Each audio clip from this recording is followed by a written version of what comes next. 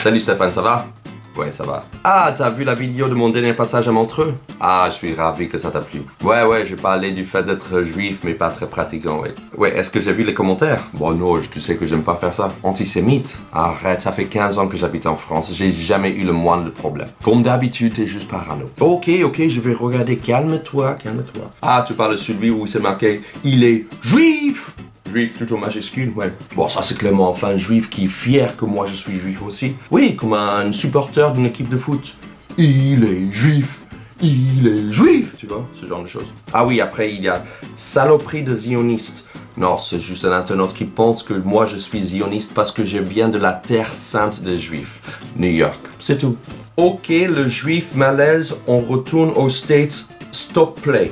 Écoute, son nom est Johnny John. Il est clairement américain lui aussi. C'est pour ça qu'il a dit on retourne aux States. Il m'invite chez lui. Et c'est pour ça qu'il ne sait pas comment appeler s'il te plaît correctement. C'est normal, c'est une erreur que j'ai faisais aussi à l'époque. Next. Ça ne fait rien d'utiliser YouTube, pauvre sumi prosémite. Je ne vais pas m'arrêter de vivre le concert. Et là, on peut rien y faire. Mince, il a le concert ce mec. Et on peut rien y faire.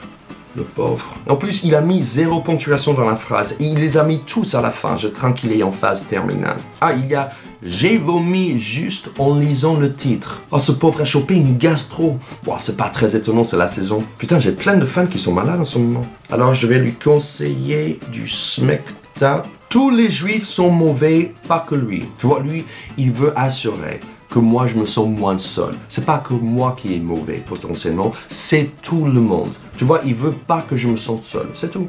Vive les maghrébins, ce sont les plus drôles. J'ai perdu mon temps en regardant ça, je n'ai même pas souri. Bon, cet internaute est clairement juif séfarade. Tu vois, le juif qui vient du Maghreb, c'est tout. Tu sais qu'il y a une petite rivalité entre séfarade et ashkenaz. Voilà, lui c'est lui c'est séfarade. Next. Ah, c'est bien vu là. Parce qu'il sait qu'en 40, on n'aurait pas eu besoin de me baisser le slip car je serais en train de déjà niquer les nazis avec l'armée américaine.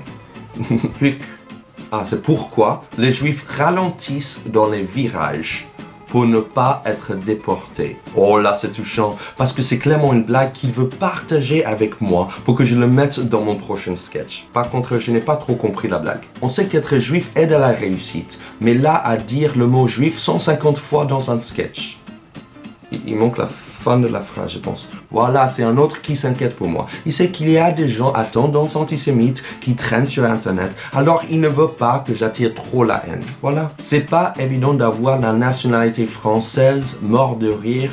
T'es juif, bien sûr que c'est facile d'être français pour toi. Les juifs contrôlent la France. Par contre, lui, il exagère.